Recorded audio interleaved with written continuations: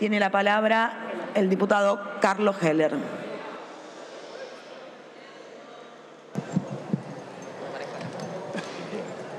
Buenas tardes, señora presidenta. Venimos a considerar el dictamen oportunamente elevado para el tratamiento del proyecto que ya tiene media sanción del Senado respecto del consenso fiscal suscripto el 27 de diciembre de 2021 por el Poder Ejecutivo Nacional y representantes de las provincias. Desde luego que para adentrarnos en la consideración de lo que vamos a proponer, eh, es necesario tener en cuenta todo lo que viene sucediendo, lo que sucede en, en nuestro país, sobre todo en los últimos años. Cuando digo esto me estoy refiriendo a las fuertes caídas del PBI y de la actividad industrial ocurridas entre el 2016 y el 2019, a la pandemia posterior con todas sus consecuencias y al agravamiento de la situación internacional, producto, entre otras cosas, de la guerra entre Rusia y Ucrania. Si bien eh, hemos mostrado ayer inclusive eh, cómo se están revirtiendo aquellas caídas y tenemos una cantidad importantísima de indicadores que nos muestran recuperación en distintos aspectos de la economía, para que continúe, para que tenga sustento ese crecimiento que se está dando, para que pueda profundizarse las políticas que apuntan a fortalecer la inclusión social, y consecuentemente o necesariamente a través de procesos de mejora en la distribución de la renta, imprescindibles, porque no se puede hablar de inclusión si no se habla de distribución. Resulta por eso necesario, entendemos, redefinir los términos de ese consenso fiscal suscrito entre el Poder Ejecutivo Nacional y las provincias. Este consenso que hoy estamos tratando como dije ya, tiene media sanción del Senado, ha sido firmado por un número importante de provincias o distritos, no lo han firmado San Luis, La Pampa y la Ciudad Autónoma de Buenos Aires. Quiero aclarar que, a diferencia de lo que han planteado en el debate en la comisión varios legisladores y legisladores, legisladoras, de ninguna manera el objetivo de este consenso es subir impuestos. En verdad, según dijo el ministro del Interior, Eduardo Guado de Pedro, durante la firma del consenso, cito textualmente, todos los gobernadores y gobernadoras que hoy participan de la firma se están autolimitando en lo relativo a la suba de impuestos. Y agregó, aquella jurisdicción que no firma este consenso puede aumentar más los impuestos que el resto de los que participan de la refrendación del acuerdo. Y continuó, la gestión anterior, la gestión del gobierno anterior, condicionó a las provincias con metas de ajuste fiscal y las empujó a endeudarse en dólares para concluir que este consenso, entre otras cosas, promueve el desendeudamiento de las provincias. También en el mismo acto de la firma, el presidente de la Nación dijo, es muy interesante poner en debate algo que nos hemos propuesto como un objetivo, que es buscar la progresividad del sistema recaudatorio para que paguen los que más tienen y dejen de pagar los que menos tienen y que podamos poner en discusión en 2022 un impuesto o impuestos como el impuesto a la herencia. Y es que estamos convencidos, se requiere la instrumentación de una política y una administración tributaria articulada entre todas las jurisdicciones que participan. La idea del consenso es establecer una estructura impositiva orientada a la promoción de la inversión, del crecimiento económico con equidad e inclusión, a la generación de empleo formal en todas las jurisdicciones del país, en todas las jurisdicciones del país. ¿Con qué objetivo? Con el de poder seguir avanzando en forma gradual y sostenida en recortar las diferencias de desarrollo económico y social que existen hoy entre las distintas regiones de nuestro país. Y ese es el gran objetivo que busca ese consenso. Ayer mismo acá, el jefe de gabinete de ministros dijo que, cito, para contar con un Estado inteligente, fuerte y cada vez más presente, necesitamos un Estado solvente. Y esa es la orientación de este consenso que estamos discutiendo. Un Estado solvente que pueda avanzar en la realización de las políticas públicas que lleven a todos esos objetivos que hemos descrito. También agregó el jefe de gabinete, según informes especializados, las provincias cerraron la mitad del año con un incremento nominal promedio del 64% en su recaudación, y una mejora de 4.2 en términos reales. Con este desempeño, el resultado fiscal hace prever que 2022 podría ser el quinto año consecutivo con superávit primario consolidado. Otro dato que me parece importantísimo para este debate y a la hora de considerarlo a través del voto de los diputados y las diputadas. Como ya dije, este consenso no está atravesado por la idea de aumentar impuestos, sino de implementar instrumentos que procuren que la distribución de la carga impositiva, para lo cual se prevé que tengan mayor incidencia los impuestos patrimoniales, históricamente débiles en muchas provincias, y de esa forma poder compensar la eventual eh, reducción en la recaudación de impuestos sobre las actividades productivas y el consumo.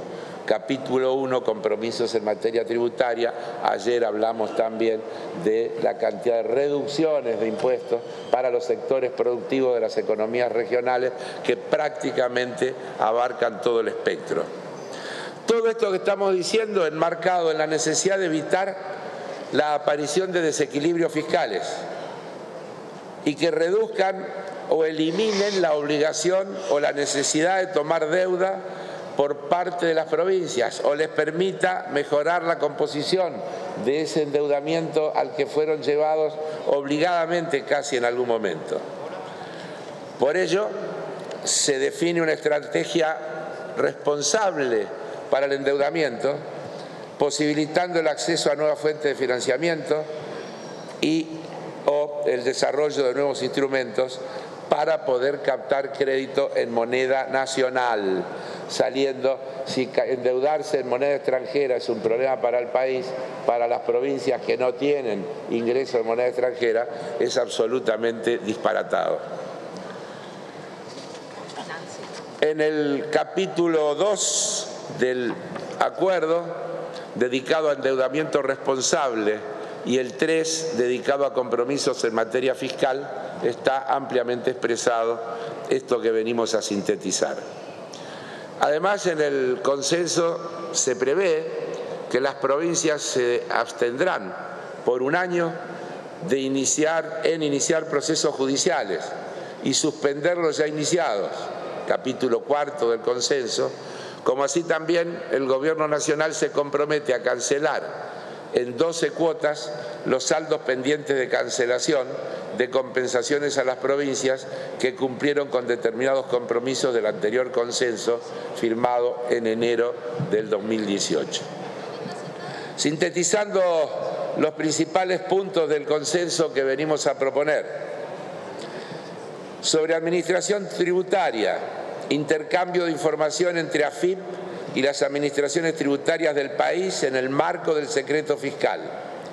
Remitir una vez al año a AFIP información sobre la titularidad de inmuebles, fortalecimiento del padrón federal a través de la adhesión del registro único tributario de los contribuyentes que aún no lo han hecho, operativización del sistema de recaudación sobre tarjetas de crédito y compra, adecuación del régimen del impuesto a los ingresos brutos, convenio multilateral, impulsar una ley que fortalezca el organismo federal de evaluación de inmuebles y modernización de los organismos jurisdiccionales de catastro territorial con el objeto de que las evaluaciones fiscales reflejen con realidad las distintas situaciones territoriales y se eliminen disparidades que no tendrían mucha justificación.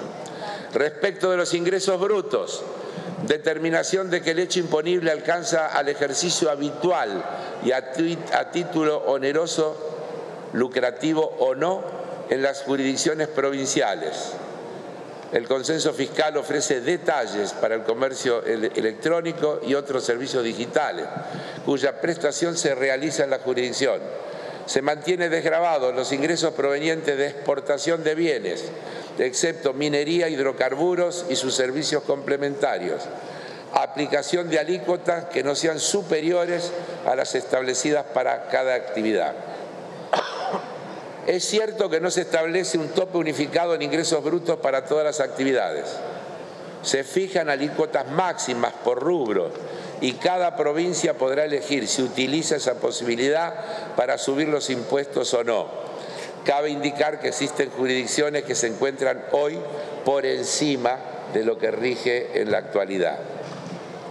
Los servicios conexos a las actividades antes detalladas y las actividades relacionadas con el juego, el tabaco y las bebidas alcohólicas no tienen alícuotas máximas.